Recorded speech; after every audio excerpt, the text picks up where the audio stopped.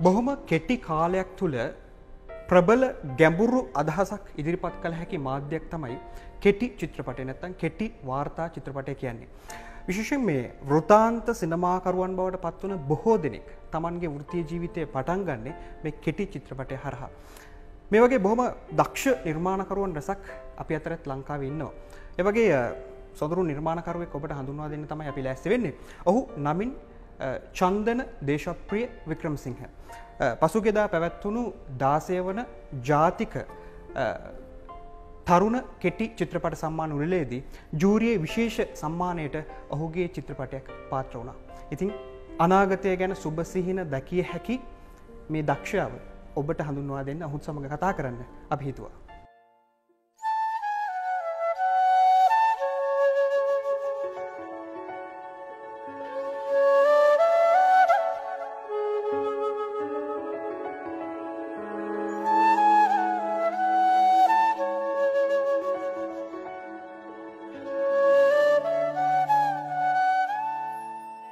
ලෝකයේ කෙටි චිත්‍රපට නැත්තං කෙටි වාර්තා චිත්‍රපට බොහොමයක් නිර්මාණය වෙලා තියෙන්නේ සුළු මොහොතක සිදුවෙන සිදුවීමක් හෝ.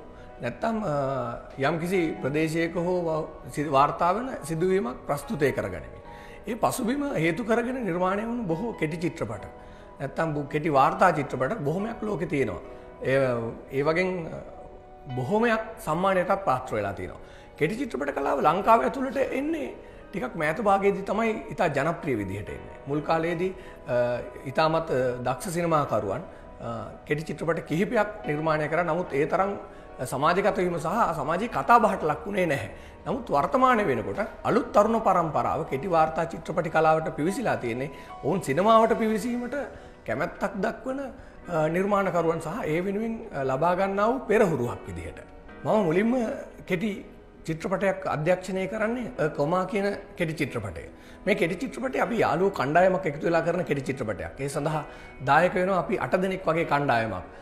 චමින්ද ජයනාත් ඔසඳ තාරේන්දු නුවන් සුරංග ධම්මික මේ කියන අපි යාලු කට්ටයක් එකතු වෙලා තමයි පළමු කෙටි චිත්‍රපටය නිර්මාණය කරන්නේ. ඒ කෙටි චිත්‍රපටය නිර්මාණය කරන්න අපි විනාඩි 6ක් වන්න වැනි කාදාවන කාලයකට තමයි කෙටි චිත්‍රපට නිර්මාණය කරේ.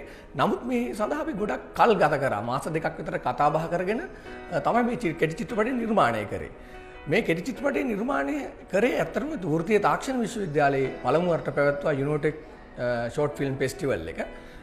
ඒ කෙටි චිත්‍රපට උළෙලේදී අපි කමා කියන කෙටි චිත්‍රපටය හොඳම කැමරාකරණයට සහ හොඳම සංස්කරණයට සම්මානයට පාත්‍ර වෙනවා. එතනදී අපි විශේෂයෙන්ම සතුටු වෙන්නේ අපි කරපු පළවෙනි කෙටි චිත්‍රපටයේම සම්මානයට පාත්‍ර වීම ගැන. ඉන්පසු කාන්තා හා මාධ්‍ය සාමූහිකය කියන සංවිධානය විසින් කරන කෙටි චිත්‍රපටවල WMC ෂෝට් ෆිල්ම් ෆෙස්ටිවල් එකේට අපි ඉදිරිපත් කරනවා කෙටි චිත්‍රපට දෙකක්. එකක් බෝන් ටු වර්ක් අනක ඉට් වෝස් අ ටර්න් කියලා. ඒක තියෙන බොහෝ කාන්තාවන් තේමා කරගත්ත තේමාවක් තමයි මේ කෙටි චිත්‍රපට උල්ලට මේ හේතු පාඨය කරගන්න අපිට අවස්ථාව දීලා තිබුණේ. එතනදී අපේ නිර්මාණය කරන බෝන් ටු වර්ක් කියන කෙටි චිත්‍රපටය හොඳම චිත්‍රපට කිහිපය අතරට නිර්දේශ වෙනවා. සහ ඒ ඒතනදී සම්මානයට ප්‍රාප්ත වෙනවා. ඒක ඒක අපි දෙවනි පියවර විදිහට තබපු ඒ උත්සාහය ඉතාමත් සාර්ථක වුණා කියන්න පුළුවන් සහ ඒක අපිට තවත් සිනමාවට පිවිසීටම ඉතාමත් උනන්දුවක් ඇති කරා. ඉන් පසුව අපි නිර්මාණය කරේ ඇලට් කියන කෙටි චිත්‍රපටයයි ජීවිතයේ දවසක් කියන කෙටි වාර්තාමය චිත්‍රපටය. එම චිත්‍රපට දෙක අපි ඉදිරිපත් කරන්නේ තරුණ සේවා සභාව විසින් පවත්වපු යුත් පිල්ම් ෆෙස්ටිවල් එකට. එම කෙටි චිත්‍රපට උළලේදී ජීවිතයේ දවසක් කියන කෙටි වාර්තාමය චිත්‍රපටය සම්මානයට පාත්‍ර වෙනවා ජූරිය විශේෂ සම්මානයට පාත්‍ර වෙනවා. ජීවිතයේ දවසක් කියන කෙටි වාර්තාමය චිත්‍රපටය ඇතුළේ මාටගේ තේමාව වුණේ නගරාන්තර නගර අතර තියෙන මිනිස්සු නගරාන්තරව ජීවත්වන නගර ආශ්‍රිතව ජීවත්වන මිනිස්සුන්ගේ තියෙන දෛනික කාර්ය බහුල ජීවිතය ගැන ඒ ජීවිතයේදී එකිනෙක සමාජය මුණගැහෙන බොහෝ චරිත බොහෝ පුද්ගලයෙන් අසල්වැසින් හා හිතමිතුරන් පවා මග හැරී යන අන්දම සහ ඔවුන්ට මිනිසුත් එක්ක තිබෙන්නේ වෙළඳ මේ ගනුදෙනුවක් පමණක් කියන එක තමයි මම කෙටි වාර්තාමය චිත්‍රපටයේදී කතා බහට ලක් කරන්නේ.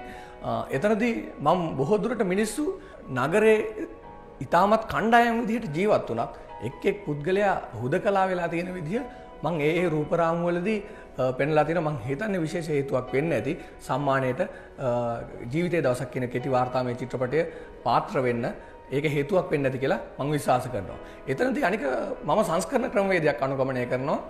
එක් තැනකදී මුල් අධියරයේදී කෙටි වාර්තාමය චිත්‍රපටයේදී ඉතාමත් සංසුන්ව රූපරාමු පෙළකින් ගිහිල්ලා එම චිත්‍රපටයේ අවසානයේදී මම ඉතාමත් වේගවත් සංස්කරණ ක්‍රමවේදයක් අනුගමනය කරනවා මේ ට්‍රැෆික් ජීවිතය කාර්යබහුල ජීවිතය කොයි තරම් මිනිස්සුන්ට මිනිස්සුන්ට තමන්ගේ ළඟම ඉන්න කෙනා හා සමාජය කොයි තරම් අතරමං කරනවද කියන එක තමයි මට කෙටි චිත්‍රපටින් පෙන්වන්න පුළුවන් වුණේ.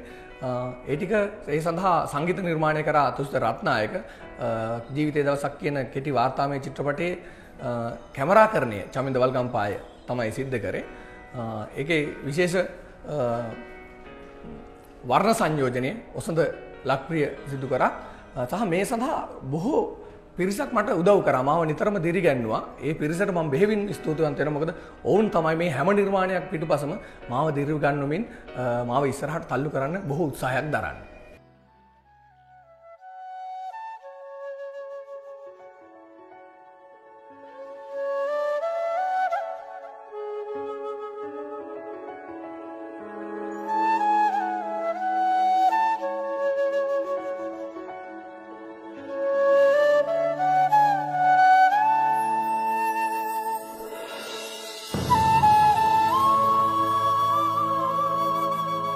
ජීවිතයේ සැහැල්ලුව කොතනද.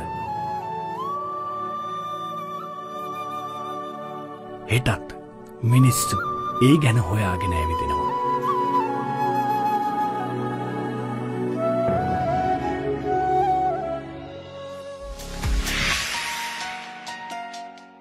ලෝකයේම